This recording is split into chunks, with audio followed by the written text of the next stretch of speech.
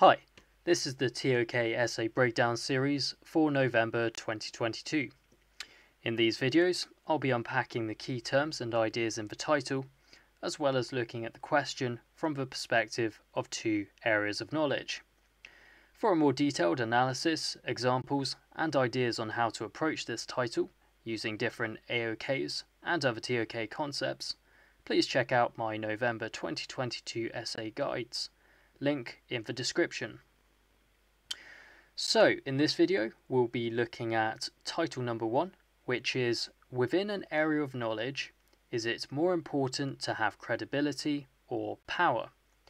Discuss with reference to the natural sciences and one other area of knowledge. Let's start with our key terms. Now, the most important terms of this title are, of course, credibility and power.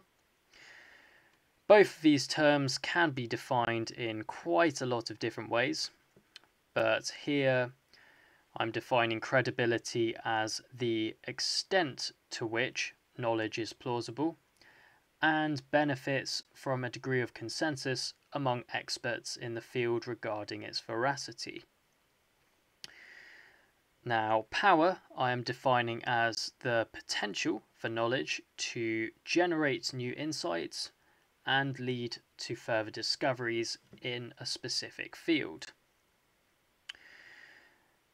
Now, some important points to bear in mind when answering this question.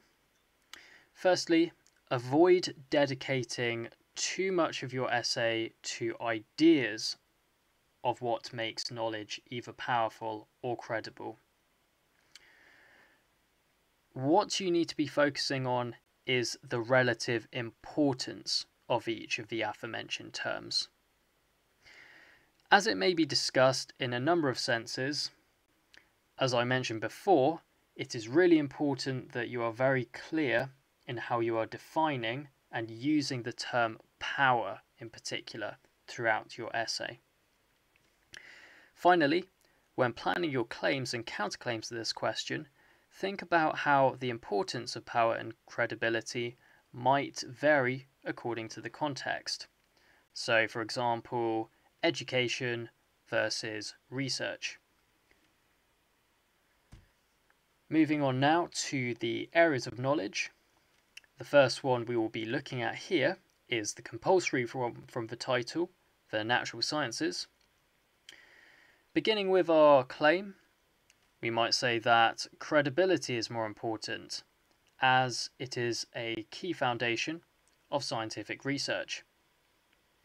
If scientific knowledge is not credible, scientists cannot, or at least will not, build on it.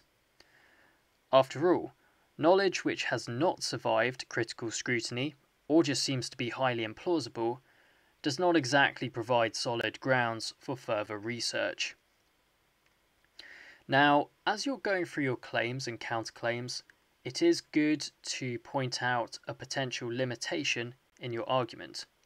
So here I have put that one potential limitation of valuing credibility too much is the fact that many scientific experiments can be difficult to reproduce for instance, clinical drug trials. Now, determining which scientific findings are actually credible can be challenging and not necessarily practical. For our counterclaim, we're going to argue the opposite. So, power is more important, as, for instance, it is essential for pushing the boundaries of scientific research given that it allows scientists to envisage new possibilities which may in turn lead them to new discoveries. Now, a potential limitation of this counterclaim is that whilst powerful knowledge is important, it still does require a solid foundation of evidence to support it. Bringing these ideas together in the mini conclusion, we might state that whilst power is important for furthering scientific research, credibility is the most fundamental element of this AOK as it is at the very core of such research. For the optional second AOK, I have chosen the arts. Again, we're going to begin by arguing that credibility is more important. In the arts, credibility often stems from experts such as art curators and critics. Now, we might say that the credibility that they lend to any specific work is important because such professionals tend to have a deeper insight into artistic works than, say, the average art enthusiast does.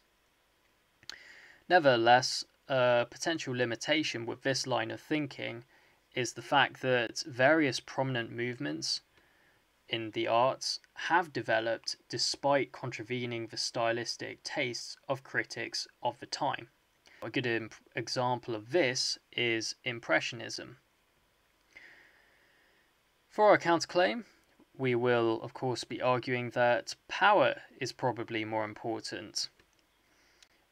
Now, from this point of view, we might say that, well, expert endorsement is not needed for a work of art to successfully convey a particular message in an impactful way. Indeed, the impact of the message is considerably more important than any opinion stemming from an art publication.